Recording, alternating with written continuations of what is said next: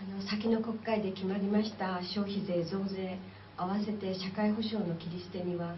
6, 6割を超える人たちが怒りを持って反対しています。街頭から演説をしていますと本当にあの怒った顔で年金は下げられた上に国保税や介護保険料が値上がりし年金から差し引かれると手元に本当に残らない。今でも切り詰めた生活をしているのに消費税が増税されたらどうなっていくんだと怒りを持って話されます。またこの消費税は2014年の4月から施行ですが 8%10%15%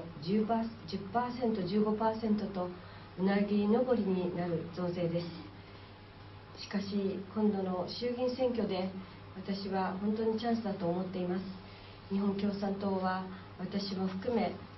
消費税増税はしなくてもちゃんと財源はあると言っています。260兆円もの大企業のため込み内部留保を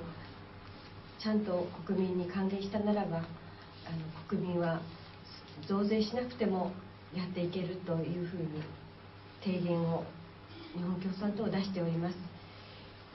私たちの暮らしを破壊しそして中小業者も本当に泣き寝入りしない。そして国民が普通に買い物ができ内需が拡大されるそういうのが望ましいと思っています。消費税増税やめさせ内需を拡大させる